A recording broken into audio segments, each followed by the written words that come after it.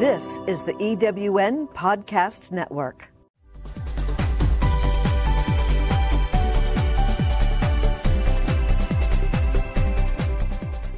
Welcome to Prime Spark, the podcast that brings you conversations that inspire, celebrate, and empower women over 55.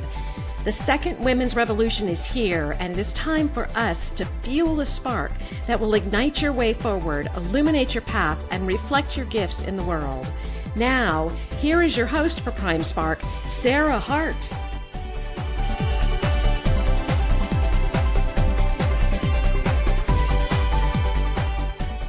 Hi, and welcome to Prime Spark. I'm Sara Hart, and I'm so happy you're here. Prime Spark is designed for women over 55 or close, with a goal to help us all live our happiest, most fulfilling, and productive lives now and in the future. The mission of Prime Spark is to change the way our society sees and treats older women. That's a big mission, which only means we all need to be involved and we need to get started now.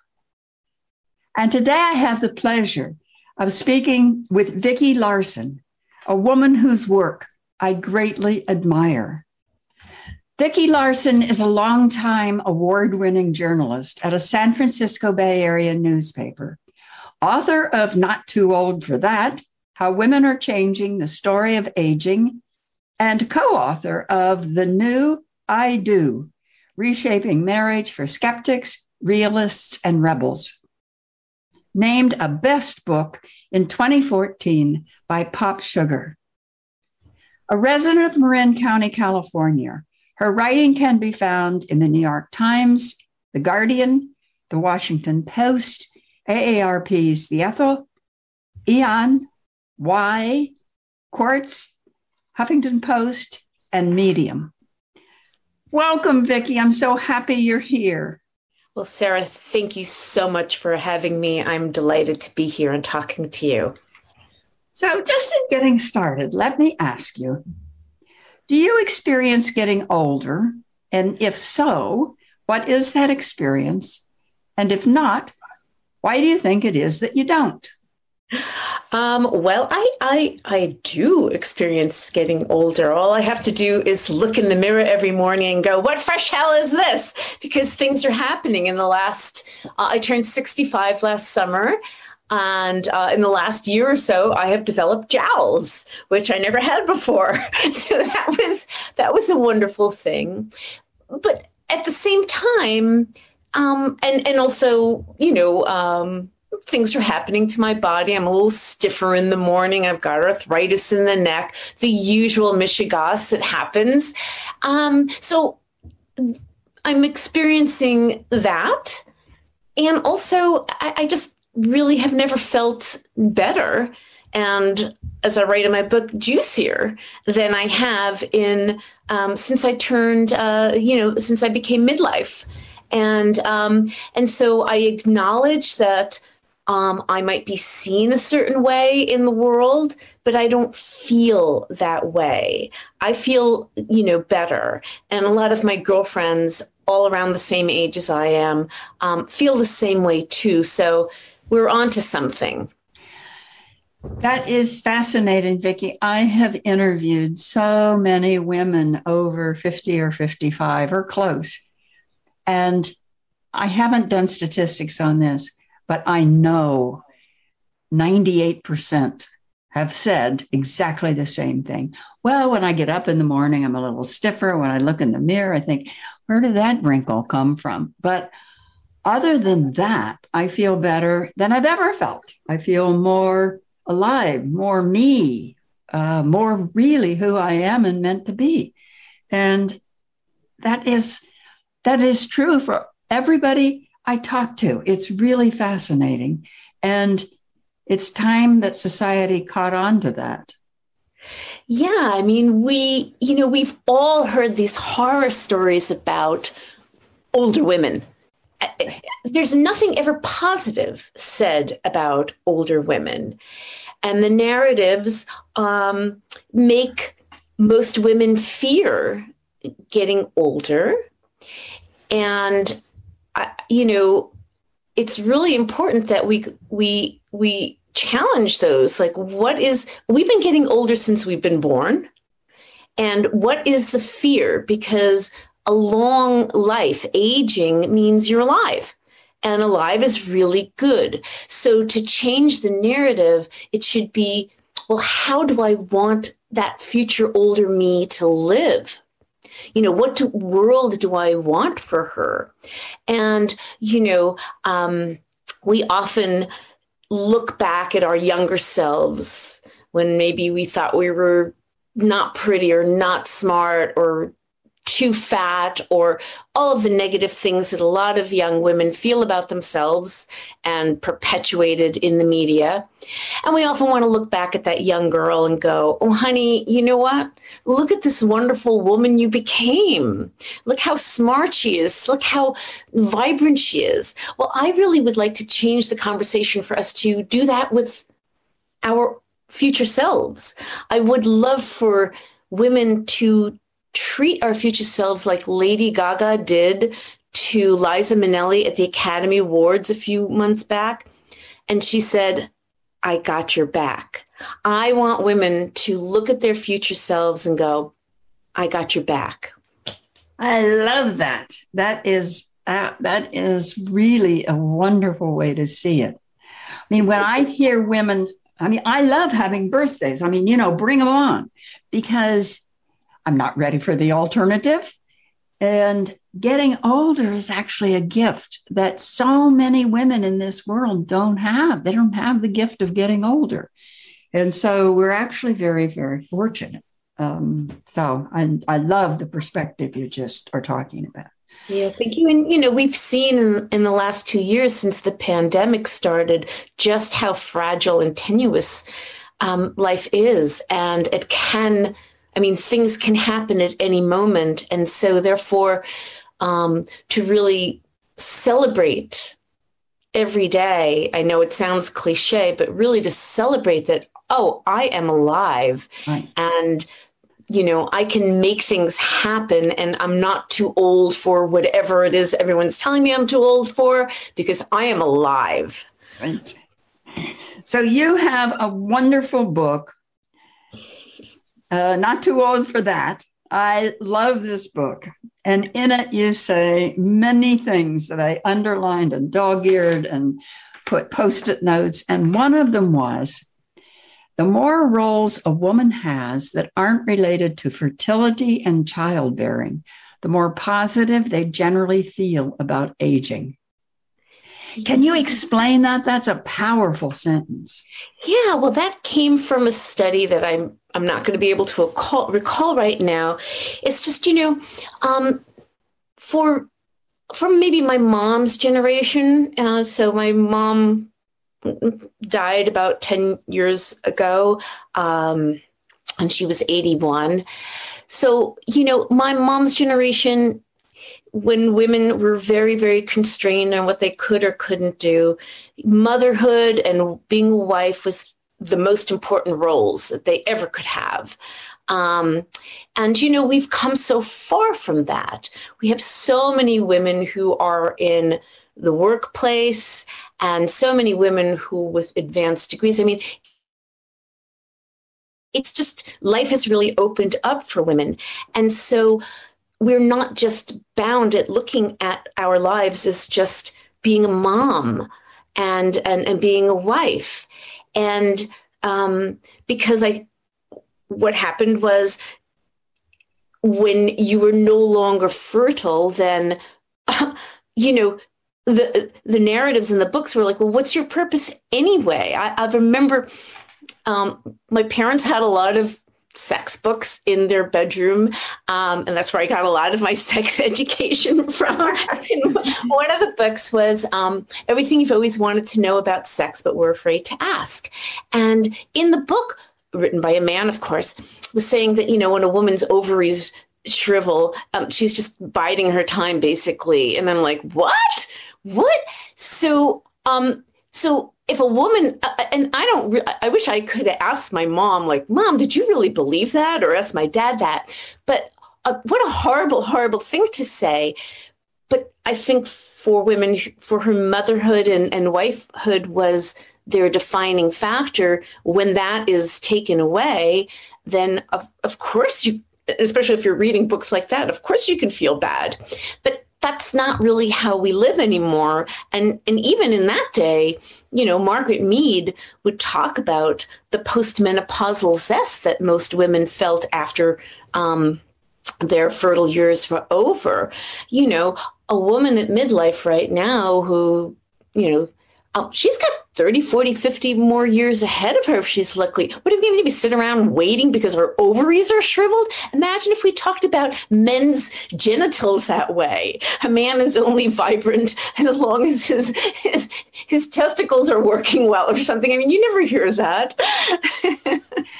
Plus, their testicles and everything seem to work a little better, a little bit longer. And so they, they get that I get yeah. that. Yeah. so you also said, Vicki, and I find this absolutely fascinating also. In what ways are we marginalized? In what ways are older women marginalized? And in what ways are we helping to contribute to our own marginalization and those of other older women? Well, oh, yeah, you know, that is a big question. So, ageism, as you know, is a huge problem in uh, our society where the focus is on youth and beauty for women, especially. And it's a very, very narrow view of what's beautiful, and it's a very short time. Um, so, so women do once they have lost that um, we are shoved uh, away and like we have no reason for you or no purpose for you. Um, and if you are a woman of, uh, of color, or you're a woman who's not heterosexual, or you're a disabled woman, you're even you're marginalized doubly, triply, quadruply, and um, and so part of the reason why I wrote the book, which is not really tackling tackling ageism per se, there are a lot of great books on that, but we have to start with our own ageist and sexist beliefs that we have internalized after hearing all this crappy messaging throughout our life. I do tell a story in the book about going to see a singer songwriter I loved all my life it was the first time I saw her. And she came out on stage with her long, long gray hair and clearly no Botox and no makeup. And she was wearing a dress that revealed a bit of a thick midlife uh, midriff. And my first thought was like, she looks so matronly. And then I was like, I hated myself. I was like, what? She is so talented. She is so such a philanthropist. She's such an activist. This is what you're focusing on? And and I understand that our brains kind of go to that right away. It's that fight or flight kind of thing. Like, is this thing going to eat me? Well, she was not going to eat me. I was up in the balcony anyway. First row might have been a problem, but um, it's so it's what do you do with that information after? How do you change that conversation in your own brain? And then then you can talk with your friends and you can talk to you know our daughters and, and other women about what they're feeling and what have they internalized that keeps us feeling marginalized. Yeah. But the conversation has to start with us so how how do we do that? I mean, that, that's fascinating that you. I remember that story in your book, and I thought, I bet Vicki and I were in the same audience that night. Um, when she was on, not naming names, not naming names either, but it was in San Francisco, and it was supposedly her farewell tour, and it was a magnetic night. And how do we, how do we change I mean, I agree. It's a, it's it's initially an inside job that we've got to change our own um, reaction, our own thoughts, our our own narrative for that whole thing. But how do we do that? I mean, it's it's it's an instantaneous reaction. It so is. what do we do? So yeah, like you do have to then think about why that was your first reaction and how can you change it. And so like after that, um, I looked at kind of well, so I am an editor at, at uh, a San Francisco Bay Area uh, newspaper in the lifestyle section, and I've started looking for ageist sexist language in some of the um, columns and stories that I have, and I edit them out. There was um, one of my uh, freelancers had had a had some language about a, a, you know a crazy cat lady, and I said, yeah, you know, I'm taking that out because that's offensive and it's a trope that needs to end. So I think once we can recognize in ourselves the way we perpetuated those narratives, we can be aware in our work if we are you know in paid work we can be aware of the way we talk amongst our friends or family. You know oh i had a senior moment or oh this or that. And think what is the language that i'm using that is harmful? And and also then you know to talk to um, the younger women in our lives about this time in our life and the you know emphasis on you know what messages is society sending them that they don't like that they would want to change.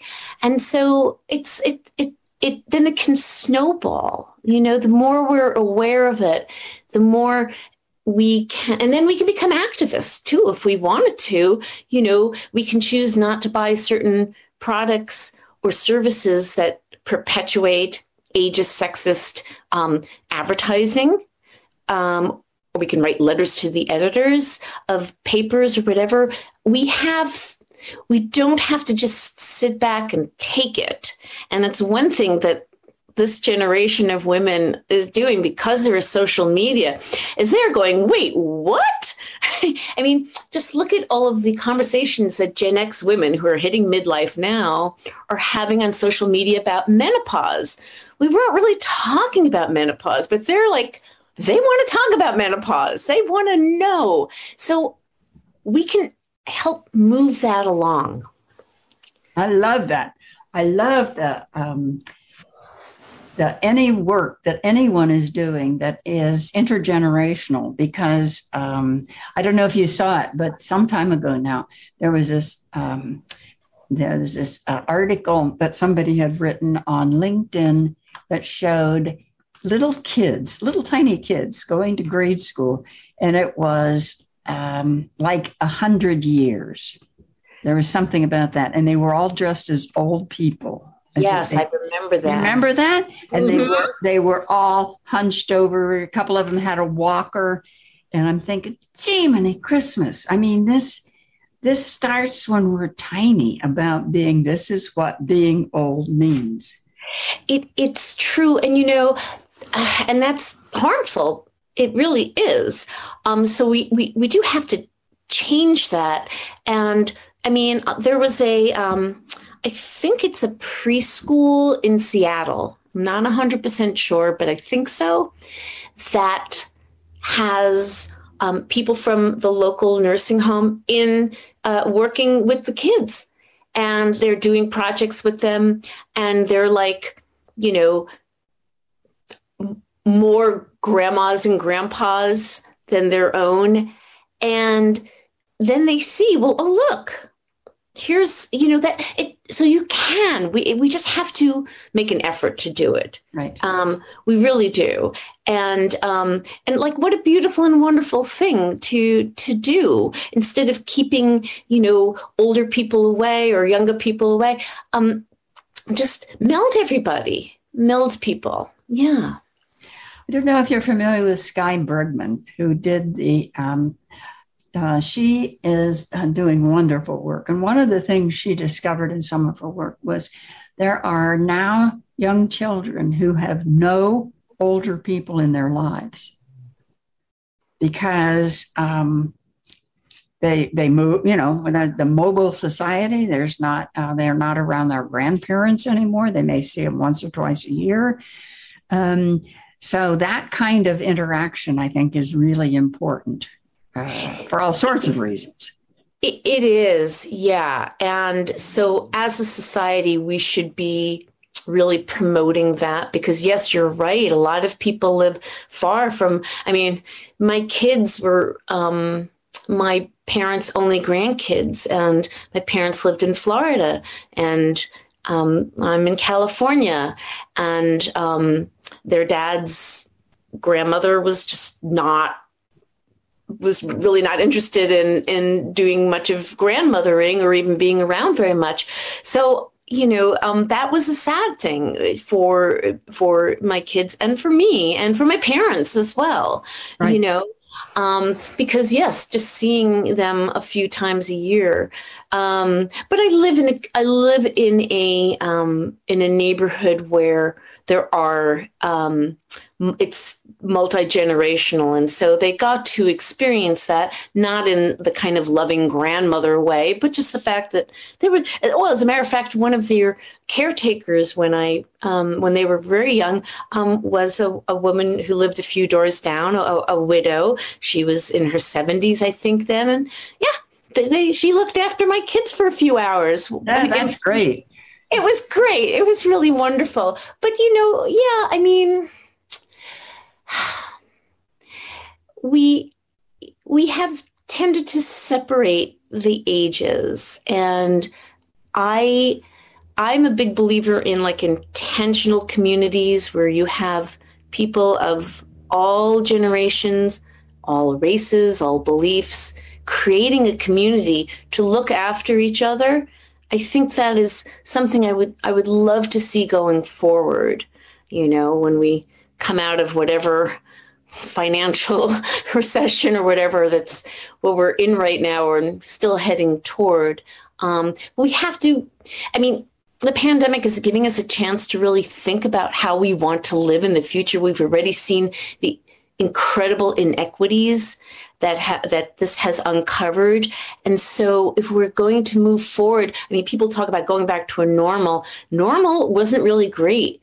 I think we should go to something better, and we should all be working toward that together. Absolutely agree. Um, I don't. I don't want to go backwards. Um, no. You know, one of the other things you talk about in your book that I, I, found fascinating was you talk a lot about different kinds of friends that um, women have. And I have frequently actually heard older women talk about that they find it more difficult to make new friends as they get older. Have you mm-hmm. heard have you heard older women talk about that? Is that anything you've heard? Yeah, not even just older women, but it, well yeah, women at midlife or so. You know, part of the problem is in this society is that it's a very very coupled society. And so when, you know, couples get together, they spend a lot of time together. And if they're having children, um, that takes a lot of time. And we forget to nurture um, our friendships because we we we prioritize romantic relationships over platonic relationships. And then later on in life if you've moved or maybe you've moved for a, a, a romantic partner and you know no one um, you know now you've been um, kind of isolated from that. And that is when you really really want to have the support of friends. So i i would hope that people do um, nourish the friendships they have, and look for ways to put themselves in situations where they can meet people what I call accidental friendships, sometimes that have happened to me so delightfully at a dog park where I take my dog every day. Like, would just always see a woman there and we started chatting. And now it's like, well, now she she's she's on a trip right now and i'm like god she better get home soon because i miss her. And, and now she's a friend. We have dinner together and so on. And so look for opportunities to do that. We really do. We do need friendship you know? And and and, and even if you have a romantic partner um you know, a romantic partner can only do so much. It's a big burden to be someone's everything. So, you know, maybe you travel with this friend and maybe you and a book club with that, or maybe you go to movies with that friend. Um, and then your romantic partner can do whatever they want to do. Um, and, you know, the age of widowhood in uh, America is 59, which is really young, the average age. And COVID, of course, has pushed the needle on that because a lot of it, more men have died from COVID than women. And so eh, friendships at that time in life is is very important. You know, it yeah. Yeah, I think um I, at one point I was I was thinking about this and I thought just from things people say, I was thinking everybody should get a dog because how many people talk about meeting new friends walking their dog okay the, the cure one of the cures for this is to get a dog oh sara i'll tell you this you can go to the dog park without a dog or you can offer to to walk a neighbor's dog. I mean, there are people at the dog park with no dogs, and you know, that's fine too. that's so, another question uh, I had about a section of your book you have pathologizing femaleness. Hmm. Can you explain what you mean by that? That's fascinating. You mean in um, in in me- in medical terms of around menopause? Yeah, yeah. So, I mean, menopause was relatively. It's it's not a really old old term it's a relatively new in the grand scheme of things um, and so um, doctors historically have been men and even the women who were like uh, midwives and doulas and everything way back when. Well, those were like the witches and the ones to burn at the stake. I mean, women were really excluded from their own um, bodies and functions, uh, being able to uh, learn about it and help other women with it. And so the male doctors would, you know, everything was, there's always something wrong with women. We don't really know what it is. So let's call it hysteria. I mean, back in the day, you know, I thought our wombs wandered around. like, okay. and so normal, normal functions that a woman would have, like menstruation, like menopause, were suddenly medical conditions and they were wrong or they were bad because men didn't have them. So there was something really fundamentally wrong with women. And that language, of course, is very, very damaging. Now you say, well, we don't, I mean, no one believes that anymore. There's no wandering wombs or or you know things like that. And yet there still is a lot of that misogynistic language and beliefs within the medical community. And um, I'm actually working on a story right now on how to talk to your male partner about menopause. And a startling fact that I think I have in the book is that doctors get maybe an hour uh, training on menopause, and some got none. And I'm like, wow, 50% of the population is women, and doctors are not even learning about the most basic thing that's going to hit every woman they know their mother, their daughters, their aunties, their grandmothers, their coworkers, their bosses. right. And so we have a lot of work to do. yeah, I'm just as you were saying that, Vicki, what I was thinking of was we have learned that uh, menstruation and menopause are problems. Yeah. And so I think for a lot of us, that's the way we experience it.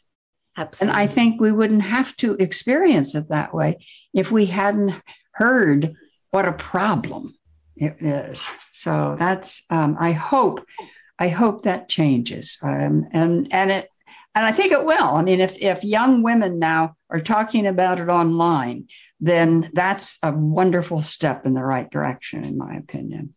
I agree. And you know, I have a love hate with social media, but it can do good yeah. if it elevates the voices of women and to have these very important conversations about our bodies. And we're seeing in America right now that um, our rights to control our own body may be taken away by m- men who don't even understand how our bodies work. Right. This is this is dangerous. It's dangerous. So we need to um, really have some conversations about women's health because it's it's hurting us. It really is. Yes. Yes. So what's next for you, Vicki? What have you what dreams have you not yet realized that are there in the back of your mind thinking, "Oh yeah, sometime I'm going to do that." Well, you know, I I did have plans to kind of back off from 40 hours a week work and maybe rent out my house and go live abroad for a bit or do a little bit of traveling. COVID came and said, No, Vicki, that's not happening for you, not now. So, um, so, but I am looking for ways to lessen the 40 hour work week. Um, but I, I have another book that I haven't we haven't signed the contract yet, but um, pretty sure that's going to happen. So I'm very much looking forward to that.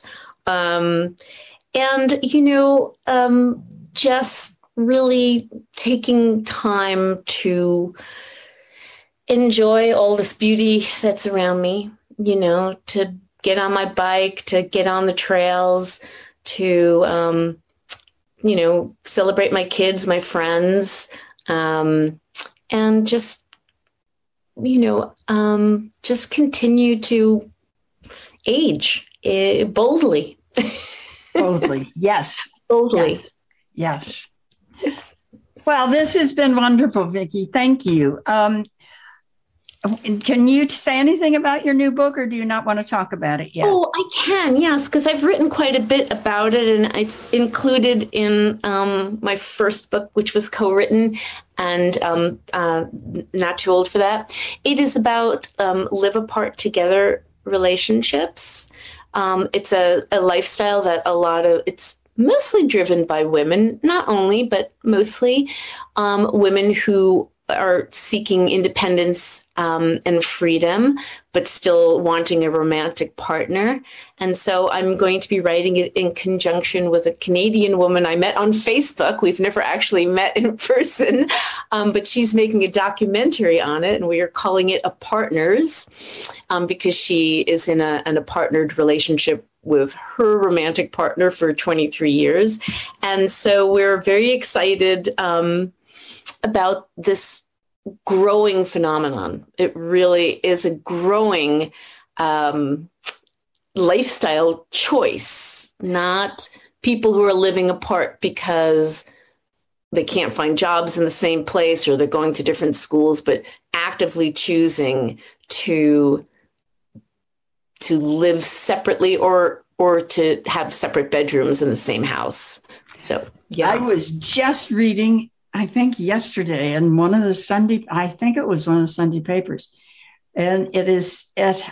I'm I'm I'm not going to remember this well enough, but um, I think it. Uh, the point was that it has become such a, a quote movement that they're calling it LAT, living yes. apart together, and so mm-hmm. it's it's gotten its own acronym. I mean, it's just I I love it. That's amazing, isn't it? Oh. Yes, and so this will be the definitive how to do it book. How to do it book. So, not saying that it's better, and it certainly isn't for everyone. It's an option if you're interested. So we're we're very excited about it. Okay. Well, all of you who are listening, look for this book that will be coming out. And if it's something that is of interest to you, this will be very helpful.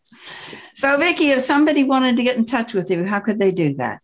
Well, it's very hard not to find me onto the internet. I write very often for Medium um, at OMG Chronicles. I'm on Twitter at OMG Chronicles. I do have a my own website, OMG Chronicles, and um, I'm at OMG Chronicles at gmail.com. So, and I'm on LinkedIn. So I do, uh, and on Facebook too, all as OMG Chronicles, which seemed like a good name at the time, but now it's like, okay. but um, okay, say that say that more slowly because I'm not understanding what you're saying. Oh, OMG, like oh my God, yeah. Chronicles. Chronicles. Okay. Yeah. So OMGChronicles.com would get you. Um, y- yes, I think it's probably Vicki Lar. Yeah, I think so. Um, but OMG Chronicles at gmail.com is a way to reach me, but also Twitter, LinkedIn, um, and uh, Facebook and Instagram and all of the stuff. so it's uh, V I C K I L A R S O N. And it sounds like you can just find Vicki lots of places if you just type it in. So that's our time today. Please join us again you can find our Prime Spark podcast on every popular outlet. Find out more about Prime Spark at www.primesparkwomen.com. Thank you so much to my guest, Vicki Larson. And don't forget, you can find her at OMG Chronicle in Facebook, her website, lots of places. Just put it in and it'll come up. So thank you for being with us. Take care, spread tolerance and love. Bye bye.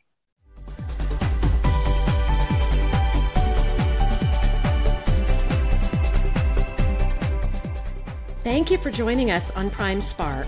With each episode, Sara Hart brings you conversations that inspire, celebrate, and empower women over 55. If you would like to listen to or download other episodes about remarkable, experienced women, go to EWNPodcastNetwork.com. This podcast is also available at Spotify, Apple Podcast, and most other major podcast sites. The second women's revolution is here, and we hope that you use the insights you've gained here to fuel the spark that will ignite your way forward, illuminate your path, and reflect your gifts in the world.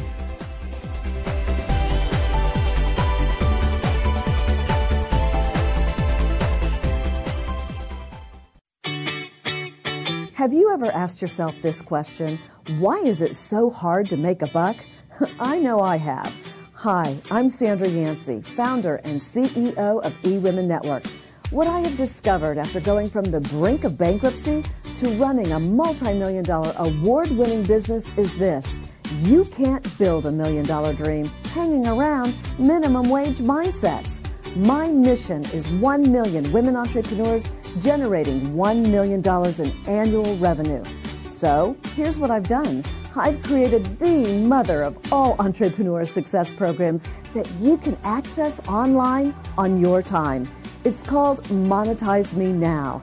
It's a seven module online course that is 100% my success formula, covering mindset, mission, management, motivation, marketing, and measure.